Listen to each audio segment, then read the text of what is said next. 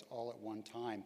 Uh, the total number of satellites is going up uh, quite, quite strong, and the percentage uh, of satellites that are, that are in the, in the microsatellite category is, uh, is really gaining. If you look at just the difference between 2009, 2013, from 15 up to 101 of these microsatellites. So some interesting trends uh, in the, uh, in the, uh, uh, the business. I've got four really, really interesting uh, guests to talk to, to about uh, what's going on in the launch business and how that may affect uh, commercial space development. Uh, I think it's a, an interesting topic because uh, when you measure the industry in terms of revenues, which the Space Foundation does every year, uh, you find that the global revenue developed by the space industry in 2012 was $304 billion American dollars.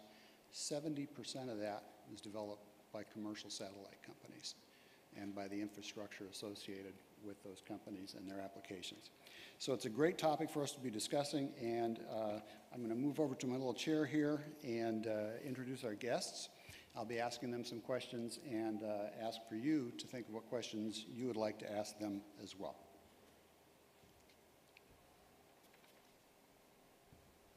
There we go. So my first guest is Dr. Turki. Uh, Dr. Turki is uh, uh, in charge of the King Abdulaziz City for Science and Technology, and he has a portfolio of tremendously interesting uh, and challenging uh, uh, organizations that, that he is overseeing, including the Space Research Institute. Dr. Turki, I would like to ask, you know, your thoughts on, on your organization and, and your interest in, in, in the launch capabilities. Thank you. Um, first of all, I have to make a correction, otherwise I might be fired. I'm not in charge of the organization, I'm the vice president. I think the president will be upset if, he, uh, if I endorse that. But um, uh, King Abdulaziz City for Science Technology is the national uh, organization for the kingdom in science and technology. And space is one of the technology uh, areas that the kingdom uh, is interested in. We started uh, activities in space since the 80s. We established the Remote Sensing Center actually in around 83. And uh, we started receiving the imagery around 86 with SPOT imagery and Landsat and then SPOT. And now we receive lots of imagery from American, French, and other satellites as well. So the interest in the, in, in the kingdom uh, through King Abdulaziz City for Science Techno Technology is long and uh, uh, in the usefulness of, you know, utilizing the usefulness of this um, uh, technology. And um, we have uh, been launching small satellites uh, in the last decade. We've launched about 12 small satellites, ranging from 10 kilogram to 200 uh, kilogram. And uh, we have a launch this coming June, uh, a mission joint with NASA and Stanford doing a scientific experiment on our satellite. So um, certainly if you look at the graphs you just mentioned and the increase in the launch of uh, small satellites in the last few years, uh, 2013 is almost double 2012. And actually, you mentioned about 100 2013, expected about 150 this year, and will actually be increasing and, and doubling within uh, four or five years. And the problem in your first graph that shows there will be less launches in the future because you're looking at the bigger satellites. And therefore, this gap is what we are interested in. We're very much interested in uh, uh, launching for small satellites and uh, whether using uh, platforms such as the Sherpa pl platform uh, built by spaceflight, which enable many small satellites to even go different inclination than the orbit that is used. this kind of uh, launch system is very uh, interesting for us.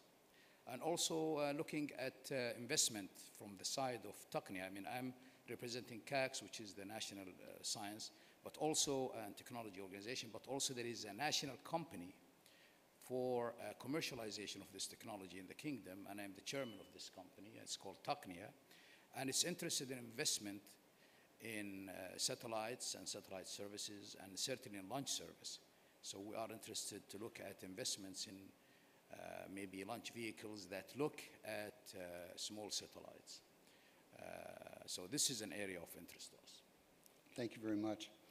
Uh, Change to your program, Philip Slack could not make it. We have instead the erudite Thomas Carroll here with us. Tom is the Regional Director of uh, ILS, International Launch Services, and has been with ILS for 14 years. His territories include pretty much the known world as far as I can tell, Europe, the Middle East, Asia, Pacific, Africa, and the Americas, and prior to ILS, he was Director of Sales for Orbcomm. Tom? Thank you very much for uh, inviting us. Again, I send apologies for uh, Mr. Slack.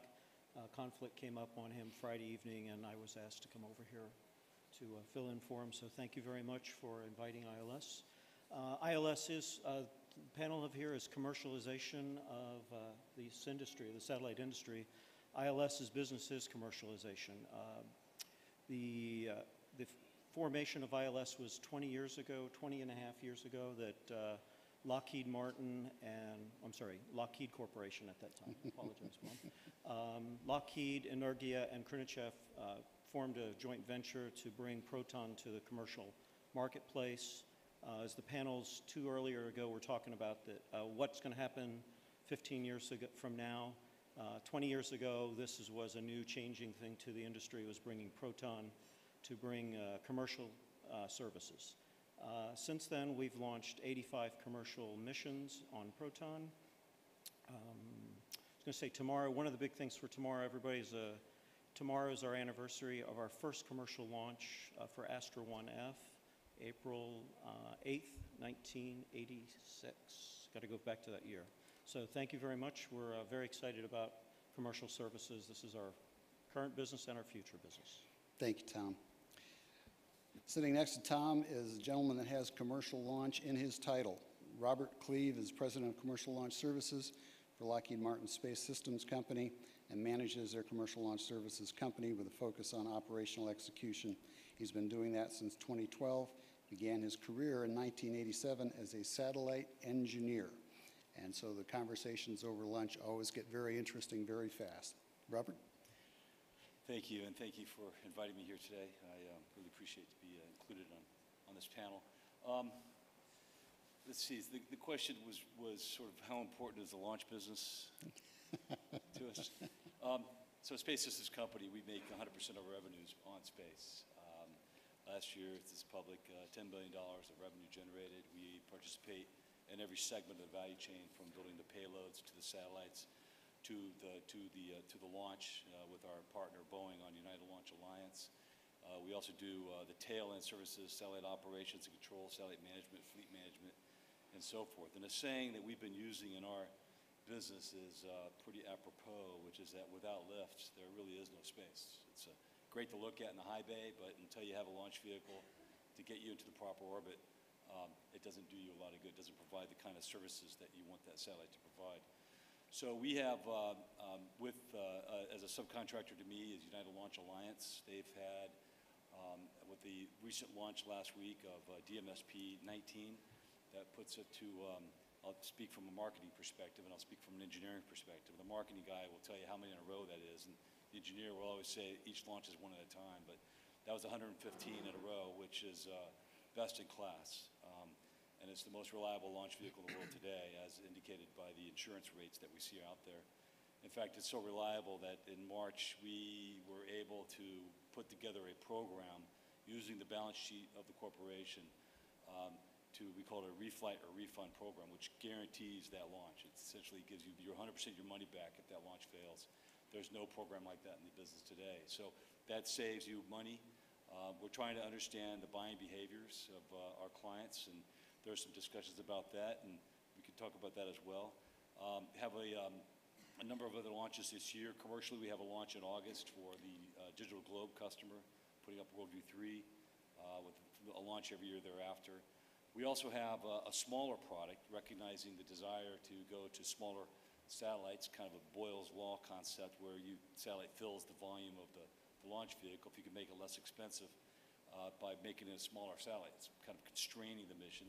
That's with our Athena program. That was the only program that was 100% privately financed. Uh, we took that out of commission in 2000. We're bringing it back in. It's a low and medium payload capability to principally low Earth orbit. Um, and so we're pretty excited about that program as well. Thank you. So Robert, since you introduced the subject of insurance premiums, let's introduce our final panelist, Philippe Montpert, who's Managing Director at Willis Inspace, based in Paris.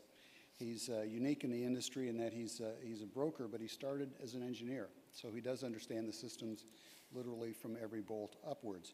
Uh, Philippe? if you say so. Thank you very much for inviting uh, uh, me to that panel. Um, just a few words about Willis. Willis uh, is an insurance is an insurance broking firm based in London, and Willis Inspace is the specialized department dealing only with space insurance matters. Um, basically, what we do, our job starts when the satellite is actually interfering of your rockets. Um, so what matters to us is not only the rocket itself, but the, the combination of the satellite and the rocket together. Uh, our customers are mainly the, the operators, the satellite operators. Uh, proud to say that uh, you know, I've personally uh, been involved in the uh, insurance of Thuraya D1, D2, D3, Yahsat 1A and 1B in the region. So it's, it's, uh, it's, it's a region I really like. And uh, suddenly, what strikes me, and maybe one of your chart didn't, didn't show that, but, or maybe I missed it, but uh, it's the, um, the share of the telecom satellites uh, in the overall number of satellites which are launched. Because our interest is only on, let's say, programs which bear a commercial share in some way. Otherwise, we don't insure. And um, in the past, we were only doing uh, telecom satellites. And it was relatively easy because there were only a few rockets.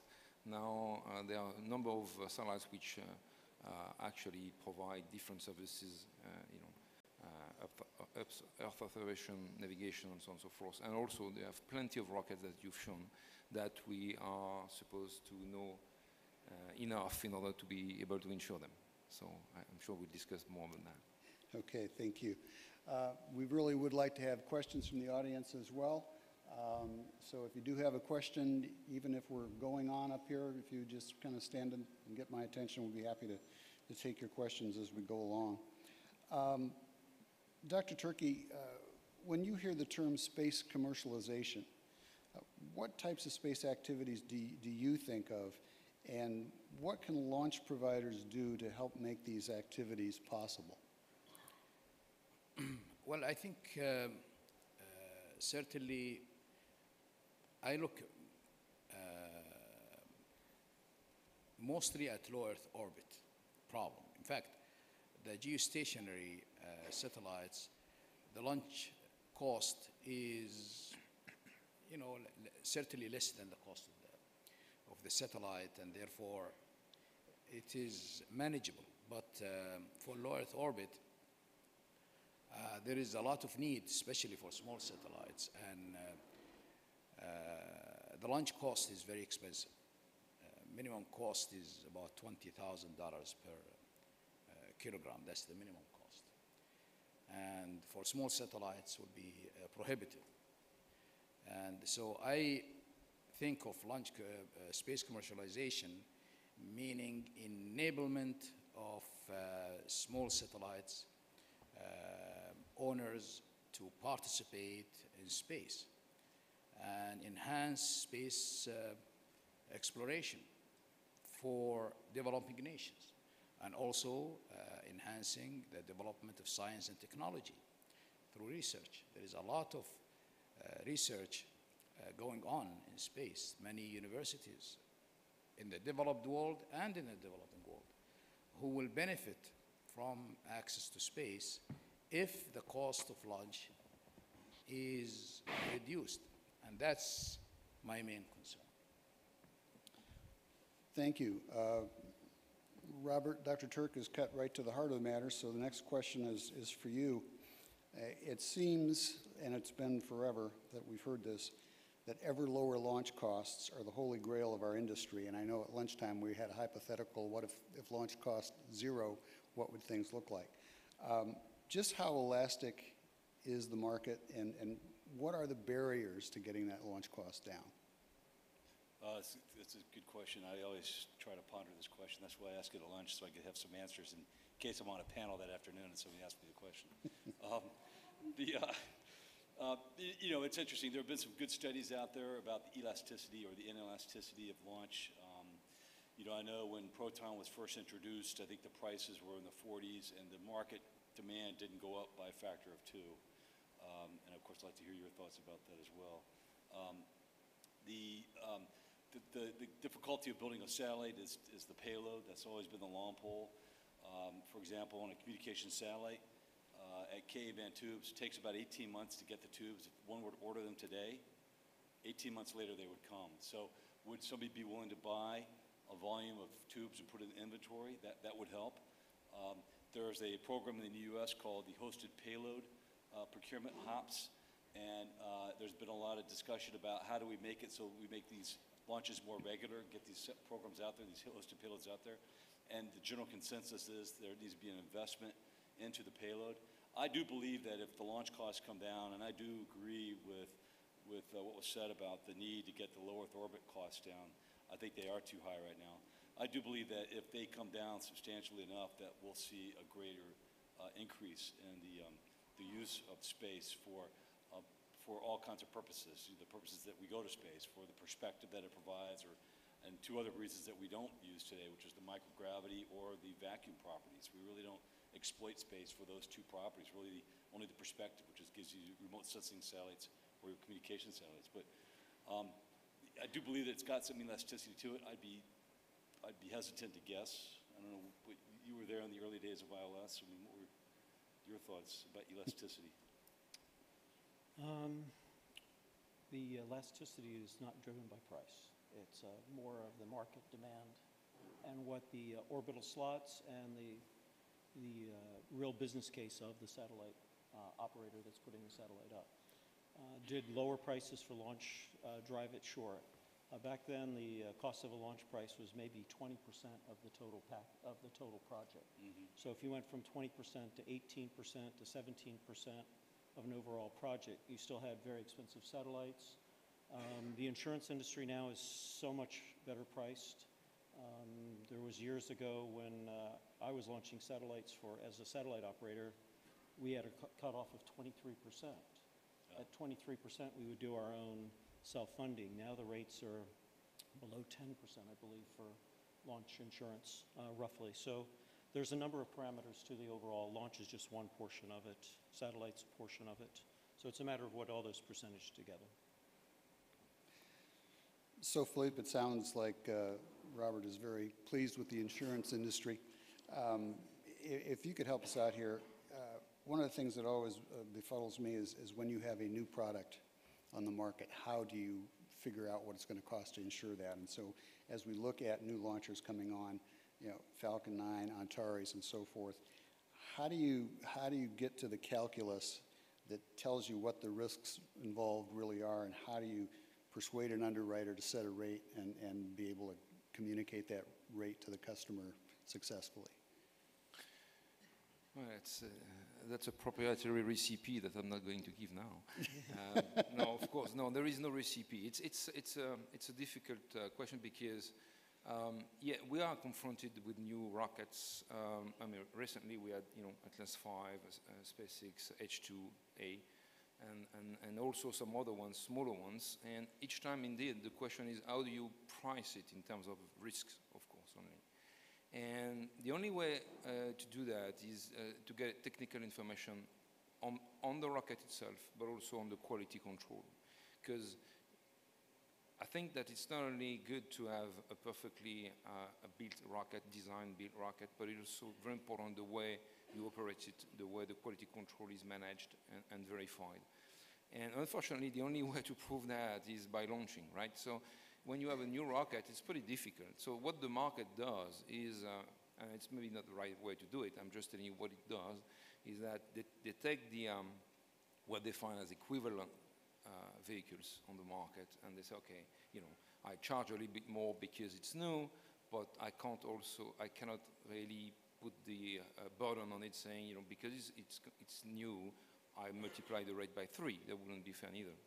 So basically, you, what you see is, uh, is a, you start from a certain setting, and then depending on the, uh, on the success or failures of the very few launches, the very first uh, launches, then suddenly either the, the curve drops dramatically or it will remain at a certain level. So basically, um, you can only judge uh, of the uh, insurance rate of a new rocket after, say, I don't know, three, five uh, uh, launches, because then you know what you're talking about. Before, yes, we've got to give our customers a certain indication, and again, but by similarity, um, and also there's a factor which is totally independent from, from that is the, on our market, we look for a certain amount to be insured. So say you're looking for $250 million, for instance, um, because that's the book value uh, which is uh, uh, uh, secured by our customers. So basically, uh, we have to find enough capacity in the market for that. Now, for a new rocket, that's going to be the problem because the insurers will say, okay, I'm, I'm ready to risk my money on a new rocket, but as much as I would do on, on a stabilized, well-known rocket. So instead of uh, you know, uh, risking 10 millions each of them, they will risk 5 millions. So therefore, at the end of the day, I'm missing some uh, valuable dollars to insure my customer. And therefore, to find these dollars, we'll have to pay more. So that's a sort of a circle. And at the end of the day, if you look at the statistics, yes, of course, by definition, the new rockets pay more. But that could go, that could come back to the uh, average uh, premium rate very, very quickly if they behave uh, nicely. So. Thank you. Uh, Question to both uh, Robert and Thomas, uh, since you're the two up here that have rockets in your pockets.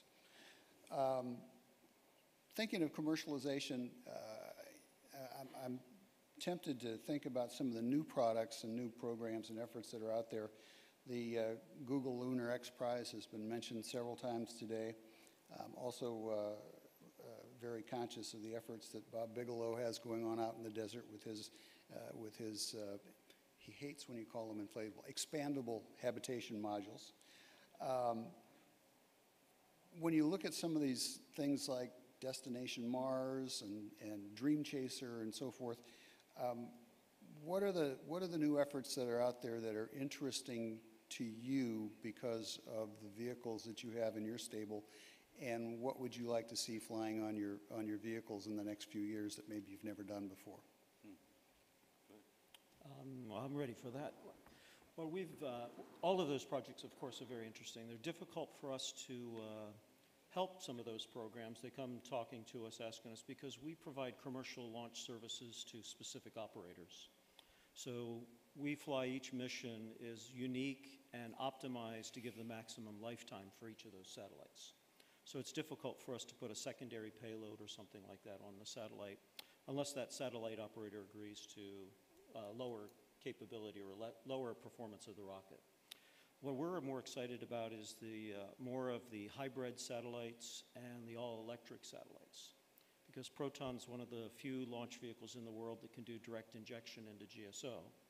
The Breeze M uh, separates all payloads at, uh, at apogee, not epic of perigee, uh, for those that are in here and chat testing. So when we launch, we actually can launch a satellite up to about 3,500 kilos directly into GSO orbit.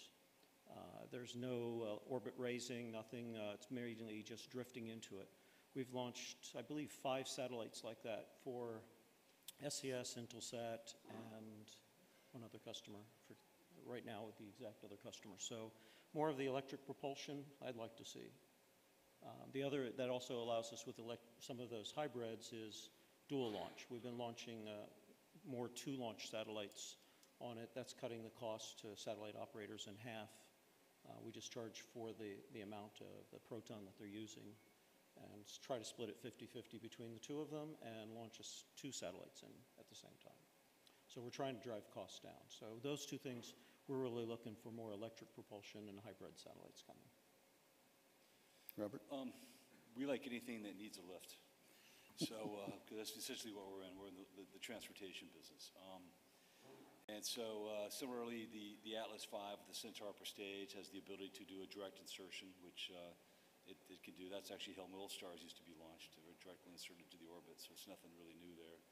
Um, laws of physics are hard to change. Uh, stat configurations, electric, the things you mentioned uh, just now certainly will help drive the demand up, we think, because it's going to make the, the business cases more attractive. For, for Goddard, uh, we launched last year, uh, sorry, 2012, uh, a stack satellites on top of each other, and this fall, I believe it's going to slip, but there's a mission for Goddard that's four satellites all stacked on top of each other, so that's four satellites simultaneously launched. So the, the launch vehicle doesn't really care what's in it as long as it can survive the loads. It doesn't really care what's in it.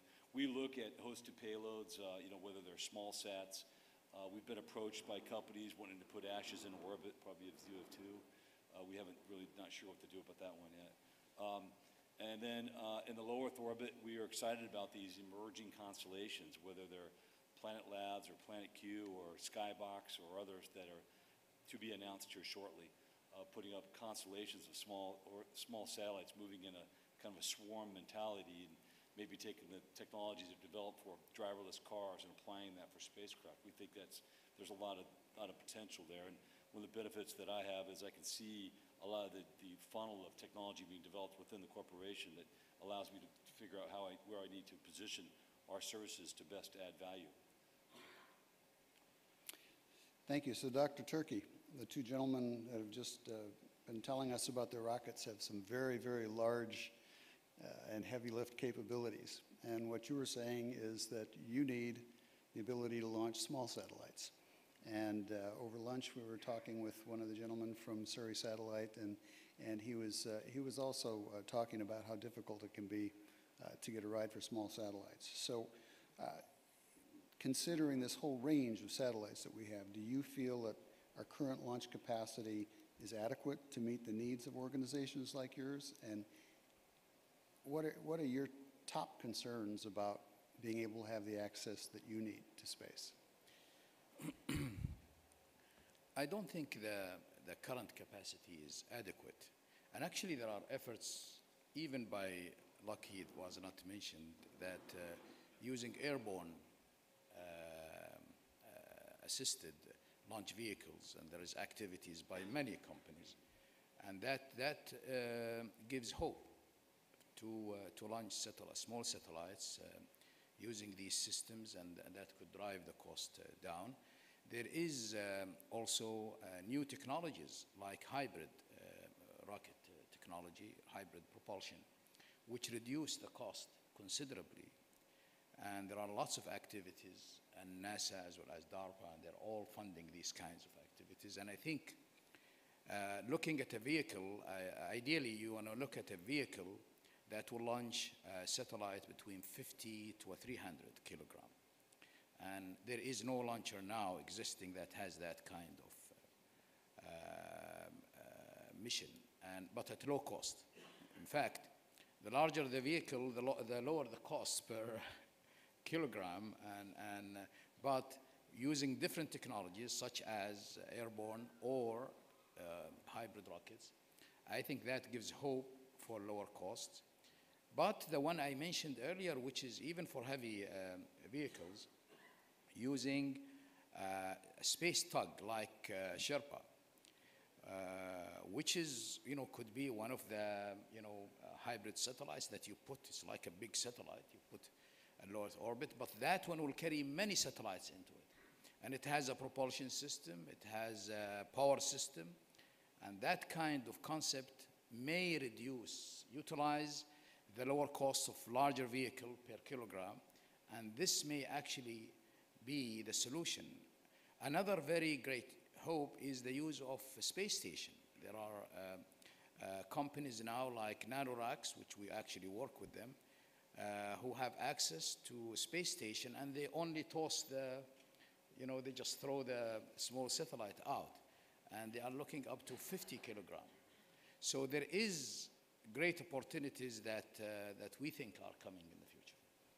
The, uh, the, the NanoRacks uh, capability is, is pretty neat. I was uh, in Houston a couple weeks ago walking through the trainer, And uh, for those of you who haven't seen it, it's, it's kind of like a, a potato gun or something. I mean, you just load all these satellites in it and poke it out the door and poop, poop, poop, it just kind of spits them out.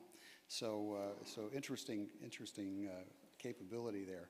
Elliot, before you go, Russia is developing the new Angara rocket, and uh, 1.2, Angara 1.2 is at the pad now doing its uh, dry, uh, dry testing at the launch pad in Plesetsk.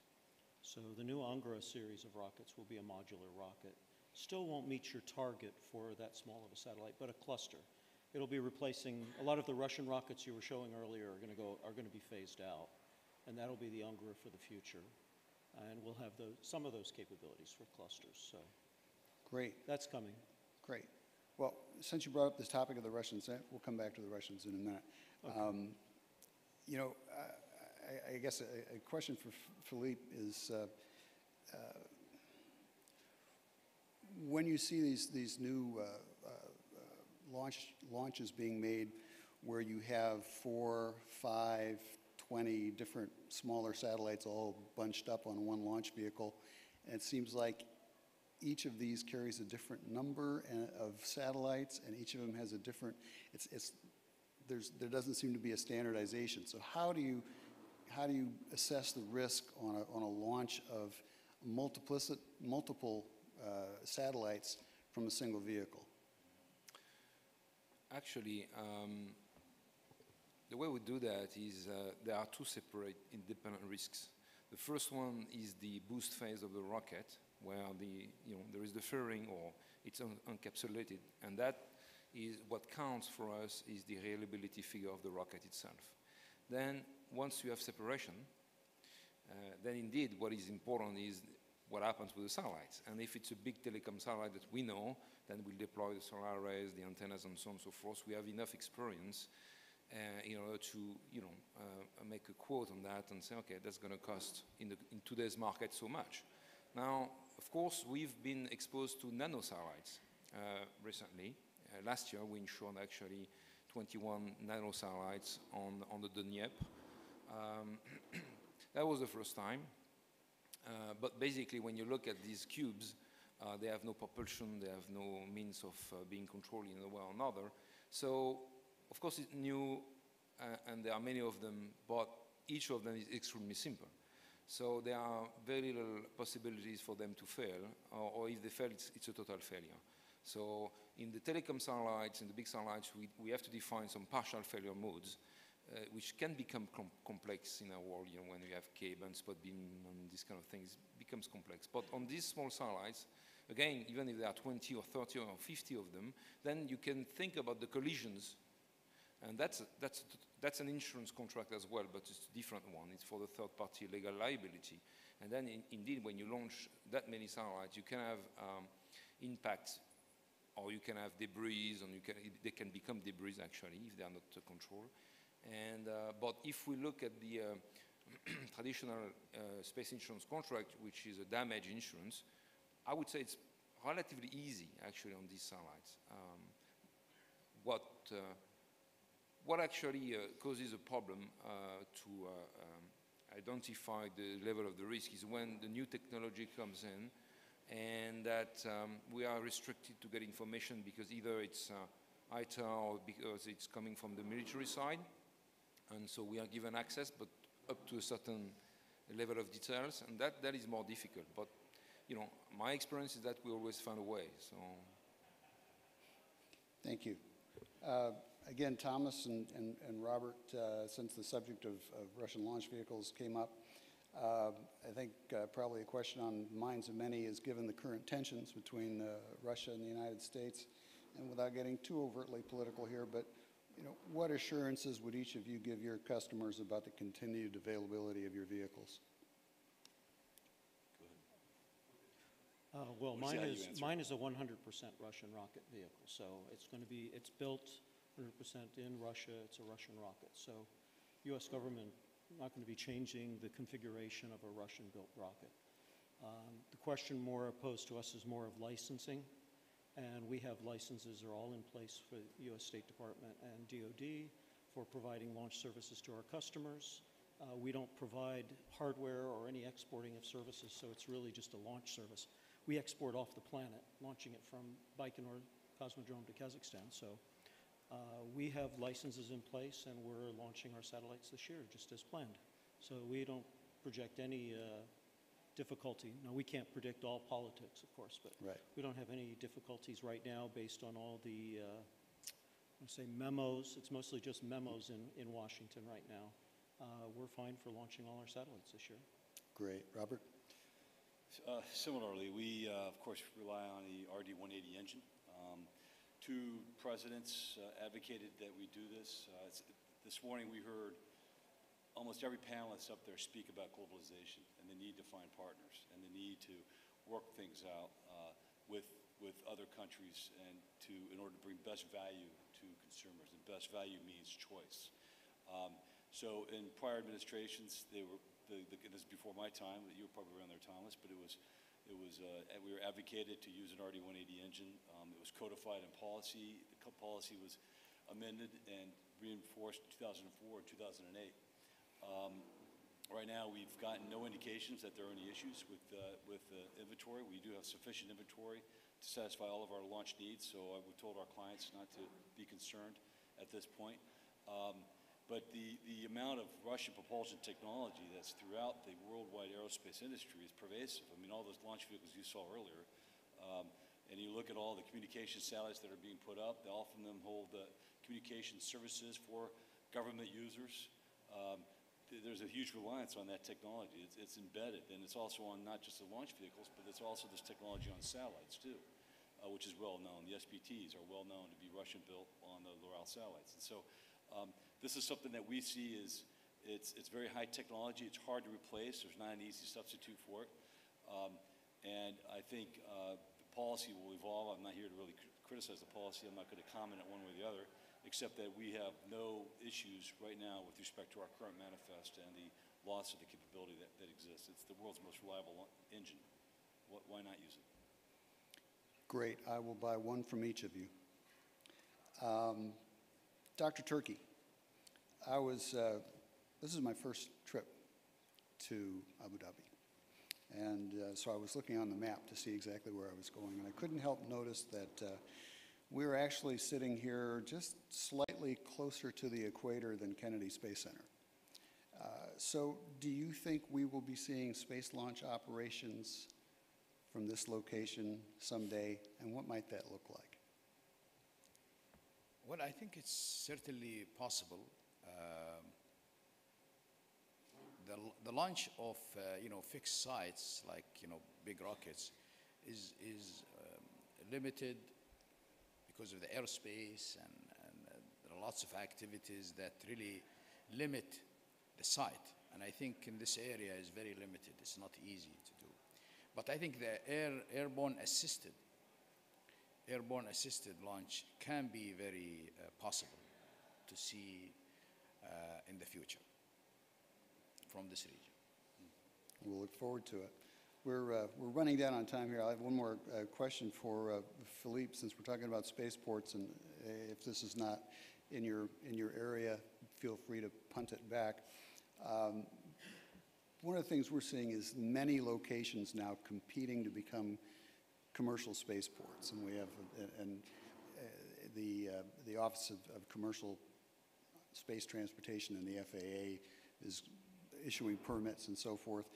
It seems like one of the, the common uh, requests when people are, are organizing a spaceport is to, is to look for, the- for the local government or the regional government to indemnify the operations there. Um, How important is that, or is that a smokescreen?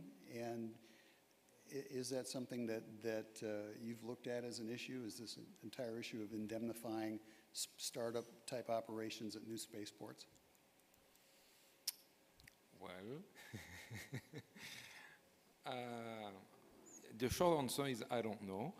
Um, now, I can tell you that uh, in terms of um, coverage for the liability of, uh, of a spaceport operation, uh, that's something which is available, I mean, very easily. There is no particular uh, thing to do to get it, uh, you know, on, on the open commercial insurance market. Um, now, that being said, you know, um, uh, this is, I think, uh, a really US-centered issue. I don't see that really elsewhere in the world. So uh, I guess that's, once I've said that, I guess it's more political than uh, anything else. Is that a product of how many lawyers we have instead of engineers? it's all right? Is it a product of the fact that we have so many lawyers and so few engineers in the United States? No comment. Okay. Well, listen, uh, this has been just wonderful. Let's take a couple of questions. Yes, right here in the front row. Stefan? Stefan? Coming behind you. Stefan Chenard, you're a Euroconsult. I have a couple of questions for uh, Dr. Turki. Um, we have suddenly seen a succession of increasingly sophisticated satellites uh, being launched by KACST. I think uh, we would all be interested to know what, the, what your next steps are in this program, um, what, your, what your launch plans look like. And second, I think quite a few people are going to leave this room with the strong impression that KACST, either as a space agency or as an investor, since you mentioned you have an investment fund um, at, your, um, at your disposal, uh, will, uh, that you have a, an air launch uh, uh, vehicle project. Is that a fair statement, or are we connecting dots too quickly?